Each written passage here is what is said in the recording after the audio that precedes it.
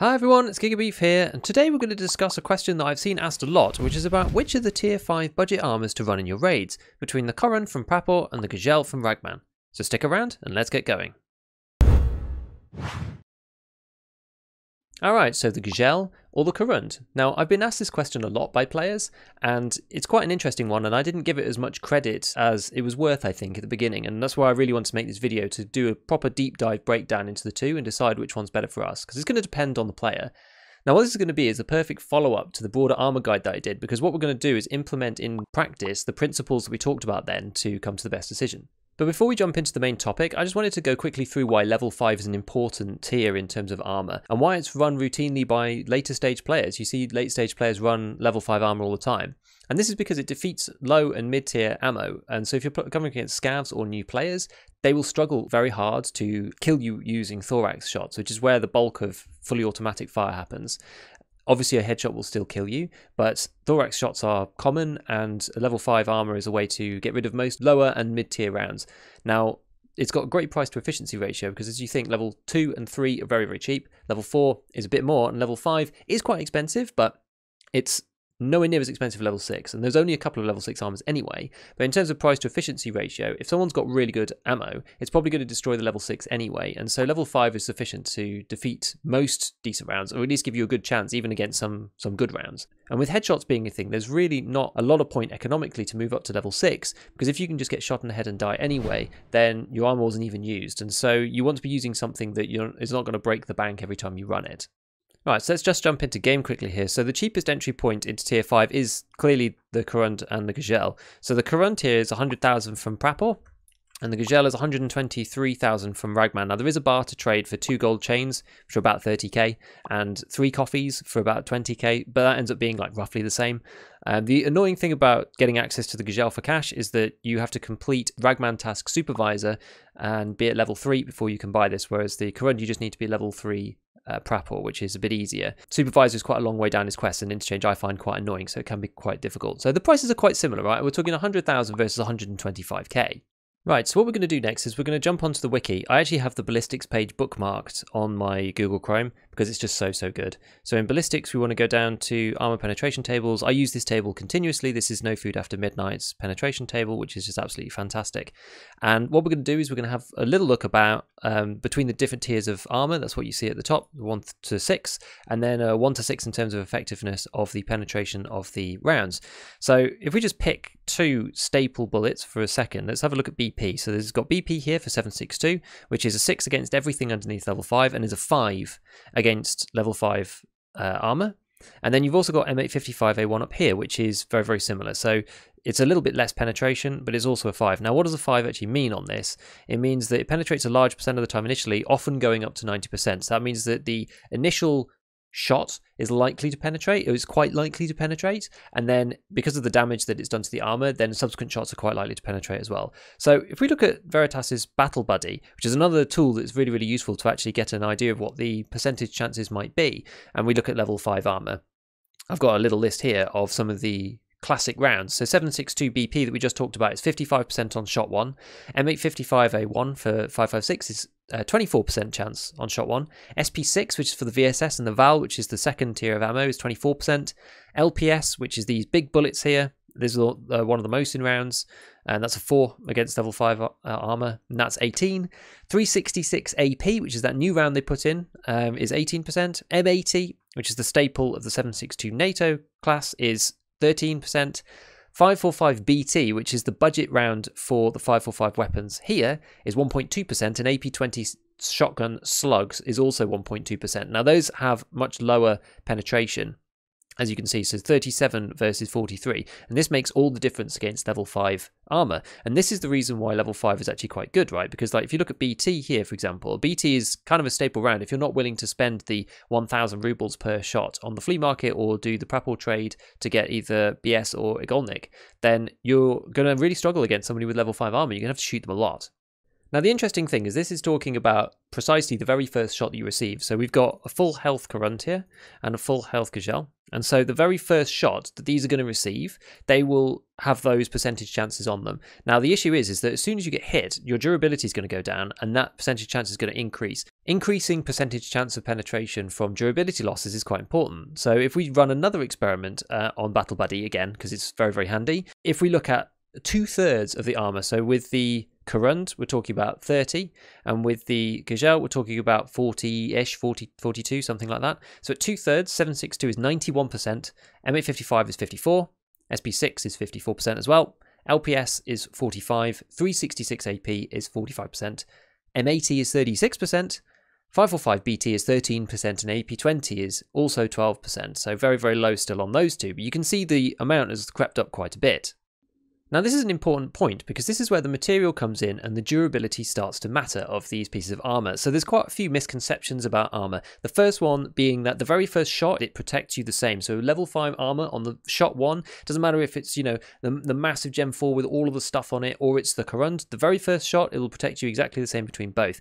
The only difference is that the durability will decrease more for those with the bad uh, material, and it will decrease less for those with the good material, and those that just have naturally high durability points will also work quite well. So, biggest misconceptions about durability is that all durability is the same. It is not. And also the fact that durability and repairability are the same, which they are also not. So, let's look at durability first. So, between the Korund and the Gzhel, the material is bad for both of these armors. So, with the Gzhel, we've got uh, ceramic.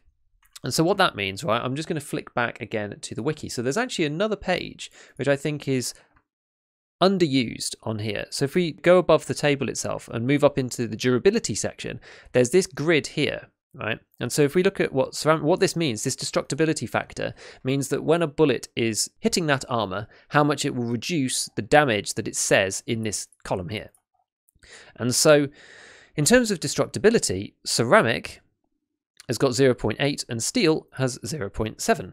So if we switch back to our armors here, so our Gzhel here has got 65 durability. This means we then divide that by 0.8 and that gets it to 81 and that's its effective durability. The Korund, on the other hand, we've got 45 durability. Divide that by 0.7 because it's made of armor steel. That gets us to 64. So 81 versus 64. You get 25% more armor from the Gzhel overall. However, the one point I would note about this is I don't think it's as important as people think because they're both low armor. And so the first shot, as we said, is really what matters. Now, if you've got a big round coming in, that's going to absolutely destroy your armor big time. And so the subsequent penetration chance is going to be much, much higher regardless, right? Imagine if you had two pieces of armor, one had one durability and one had two durability, and they're both level five, and any bullet would zero them, then it literally doesn't matter that one has twice the armor of the other, right? And so I think there's some of that effect in this. Because of that fact, I would personally, on price alone and just based on these facts alone, I just go for the Korund because it's cheaper and you're not really caring about subsequent shots that much if you're buying budget armor. You want to survive one big shot to the thorax and not die and have it save you. And that's really what you're buying it for. And on that basis, I'd go for the Korund. However, there are some other factors that might make us reconsider. Now, on to misconception number two. This is about repairability. So, just because both of these are bad in terms of durability does not mean that they're both bad in terms of repairability. And this is actually normally where the misconception comes in is with armor steel, because people say, well, armor steel repairs really well, so it must be really good on durability too, which is not the case as we've seen, right? It's the second worst. It's the next worst one down from ceramic. People really think that this armor is is good when it isn't. Now, the, diff- the big difference between ceramic and armor steel, though, is the repairability. The repairability of armor steel is very, very good, and people know this and see this because when they try to repair with Prapor, it hardly costs them anything and it repairs nearly to full health. The ceramic armors, on the other hand, are not like this at all, and anybody who's run any ceramic armor will know this, right? You can only really repair them two or three times, maybe, before the durability is down to two thirds, maybe even a half of what it was originally, which is very, very tough. Okay, so to demonstrate this, I want to just flick back to our off Tarkov screen, and we're going to grab up this here, which is a picture that I want to show you of all the different armors being repaired. So this first one is the Gzhel, and we're talking about Prapor versus Mechanic. Now, you can see it costs 23,000 and 60,000 respectively to repair with Prapor Mechanic, which is extremely expensive, and this gets it from to 52 and it gets it back to 57 out of 65. So we're paying a lot and it doesn't repair that well. So if we move along to the Korund instead, we can see this gets it back to 44.46 for 10,000 or for 22,000, 44.69. Now, there's really no point repairing with Mechanic here because it goes so close to 100% using Prapor. So it really costs 10,000 with Prapor. And we have a choice here with the Gzhel is either to do 23,000 or 60,000 with Mechanic, which is clearly a lot more expensive. Now, this is one of the reasons why people don't like this armor and think that the Korund is way, way, way better. But I don't think it's nearly as clear cut as people think. So just before we move on, whether you should repair the armors with Prapor or Mechanic for the Gzhel, I think it's clear choice to repair with Prapor, to be honest with you. So with Prapor, you purchase one from Ragman for 123, you repair it twice at around 23,000 rubles, and this gets us to an average, and then basically you just throw it away, right? So you've got an average there of 56,000 rubles. Now, with Mechanic, I think that this is just not worth it, right? So you purchase it for 123. You might be able to repair it four times, let's say with mechanic instead, for 59. And I know it goes down slightly, but we're just making an estimate here. But this is still 72. Now, the repair cost with mechanic is actually more expensive than the overall average cost with Prapor. So no matter how many times this can be repaired, this number will never get lower than this number. And so I think it's just better to repair with Prapor and throw it away because Prapor is like literally a third of the cost to repair. And so it's just not worth repairing with mechanic. Now, where this starts getting a little bit complicated is in terms of insurance. So we've already seen that repairing these Gzhels is quite expensive, even though it can be done, and it's not too bad if you use mechanic.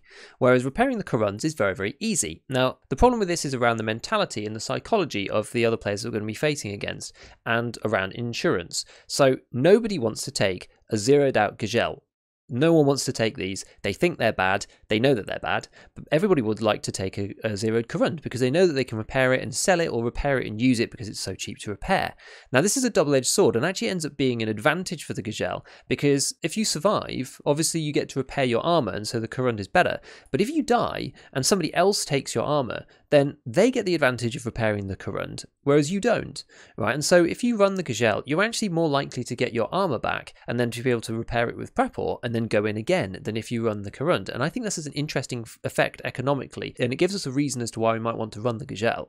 Right, let's just switch back to Excel because what I've done here is run some scenarios based on some assumptions around the armor itself. So in terms of what is important is our survival rate. Uh, here we're assuming 50% whether the armor gets damaged when you survive. So at the moment, I'm assuming 50% of the time the armor gets damaged when you survive. If it gets damaged, we're going to say that it goes to zero and needs to be fully repaired. And then in terms of insurance, what we were talking about before, I've implemented in terms of the Korund with a 50% insurance return rate and Gzhel with a 75% insurance return rate. So some people will steal the Korund and some people will steal the Gzhel, but generally speaking, if people see one of those Gzhels that is zeroed out, they're just not going to take it and you're going to get it back. So let's run this through the first scenario. So here we've got the, the Korund. So what I've done is kind of like a little flow diagram just to demonstrate it in a probability tree. So we're saying half the time we survive and half the time we die. Of those survivals, the armor comes back undamaged, or we've just got it on us and it's undamaged 50%. 50% of the time it gets damaged and we'll need to repair it. So overall, 25% of the time we have to pay nothing. 25% of the time, we're going to have to pay 10,000 rubles to repair the armor. Now, on the other branch, the, the death branch, 50% of the time, we're going to get it returned in insurance. That was the, the thing that we specified up here. 25, and so that's 25% of the overall, which is again another 10,000 because we're going to have to repair it from zero. When we die and it gets stolen, this is the final 25% chunk, the final quarter of our probability. And what does this cost us? Well, this costs us the entire price of the armor because we're going to have to buy a whole new one for 100,000. So if we take an average of all of these, using these probabilities, this gets us to 30,000 rubles per raid, which seems pretty cheap. And this is based obviously on the assumptions that we've made and comes out to quite a nice figure. So if we then flick down to the similar scenario using exactly the same assumptions with the Gzhel, except for insurance return rate, we're saying that the same thing, survive and undamaged, survive and damaged, die and have it returned, and die and stolen. The only difference here is between returned 75% and stolen 25%. When it gets returned on the Gzhel, or when it's damaged in raid, we have to pay 23,000 to repair it, and when it gets stolen completely, we have to pay 123 for the, the new one. And the answer here is 29.75. So it's actually very, very similar. The crux of this is that we're saying that the Gzhel you're going to get returned 75% of the time. Maybe it's too much. I think at this point in the wipe, I think this is probably about right. But you might disagree with me, and so this might change the answer that you might want to get to. Now, clearly, this changes depending on the survival rate that we have.